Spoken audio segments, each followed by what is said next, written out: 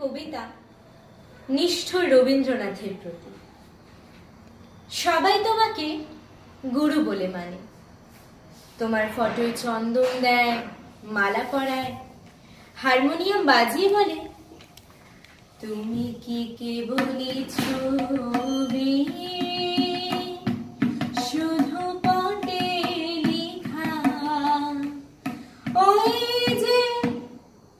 গলা তুলে, শিরা ফুলিয়ে বলে, ওরে বিহঙ্গ ওরে বিহঙ্গ মোর, এখনই অন্ধ, বন্ধ করো না পাখা। কবিতা প্রতিযোগিতায় পাঞ্জাবি পরা বিচারক আসে পলিপ্যাকে ভরা প্যাকেট দেয়া হয়। বড় বড় পণ্ডিতেরা দূষণের প্রসঙ্গ টেনে বলেন, যাহারা তোমার বিষাইছে বায়ু, নিভাইছে তব আলো, তুমি কি তাদের ক্ষমা করিয়াছ তুমি কি বেসেছ ভালো আসলে ওরা সবাই তোমার গুণের কথা বলতে চায়।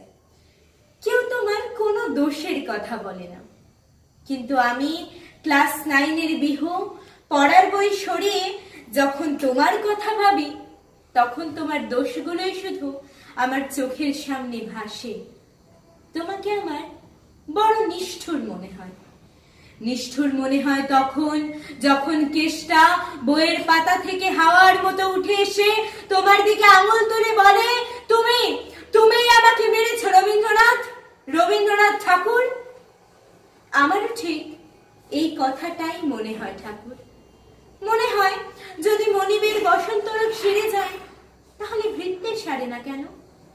আবার ধরো রাখালের কথা। এই তো সেদিন খবরের কাগজে পড়লাম। নৌকো থেকে পড়ে যাওয়া একটা বাচ্চাকে পালকের মতো ঝাঁপ দিয়ে নদী থেকে তুলে আনলো একজন মাঝি। তাহলে রাখালকে কেন বাঁচালো না? তোমার মাঝি? বলো, কবি ঠাকুর, বলো। আর ফটিক, যে হঠাৎ জ্বরে পড়ল আর মরে গেল টপ করে? জ্বর হলে কি সবাই মরে?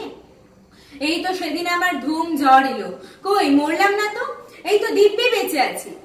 আসলে ফটিক মরেনি রবি ঠাকুর। তুমি ওকে মেরেছ। তুমি নিষ্ঠুর তুমি নিষ্ঠুর তুমি নিষ্ঠুর।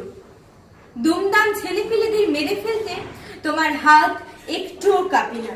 শুধু মেরে ফেলাই নয়, রতনের মতো একটা আলাভোলা গ্রামের মেয়েকে দুঃখ দিতেও তোমার হাত কাঁপেনি এতটুকু। কি আর এমন ক্ষতি হতো? যদি পোস্ট মাস্টার মশাই রতনকে সঙ্গে নিয়ে যেত, আর অমল ওই ফুলের মতো ছেলেটা, তাকে কিনা তুমি আবার যদি মেরেই ফেলবে, তাহলে সুধার মতো একটা ভোরের আলোকে দিলে কেন তার বন্ধ করে? তোমার নিষ্ঠুর বলার জন্য আমাকে ক্ষমা করো রবীন্দ্রনাথ। আমি কি করব? আমার যে বড় কষ্ট হয়। বড় মন কেমন করে? আমার ঘরের জানালার রড ধরে দাঁড়ালেই আমি যে শুনতে পাই সুধার মলের শব্দ।